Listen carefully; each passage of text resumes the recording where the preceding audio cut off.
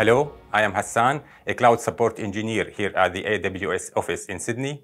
Today, I'm going to show you why you might be charged for the AWS key management keys and how to stop being billed for the keys that you no longer need. Let's get started. With AWS KMS, you pay only for what you use. There is no minimum fee.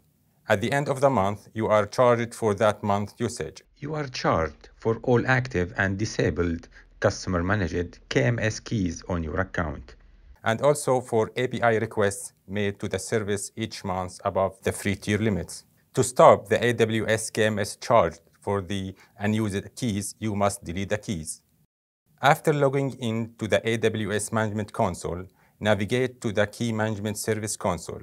You can do so by entering the KMS in the search box and select Key Management Service. Make sure you are on the correct region.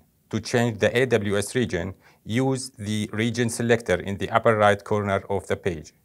In the navigation pane, select the customer managed keys. This shows all the customer managed keys in your account. To delete an unused key, you must schedule a deletion. Select the checkbox next to the KMS key that you want to delete. From Key Actions, select Schedule Key Deletion. For waiting period in days, enter a number for, of days between 7 and 30.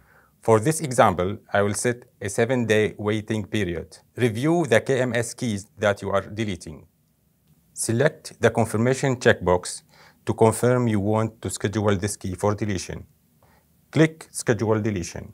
Now the KMS key status changes to pending deletion, and you will no longer be charged for this key unless you cancel the scheduled deletion within the waiting period.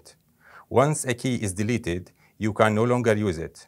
All data encrypted under a deleted KMS key will be unrecoverable. The key is deleted automatically after the configured waiting period that you have set. However, if you cancel the deletion during the waiting period, the customer managed KMS key will incur charges as though it was never scheduled for deletion.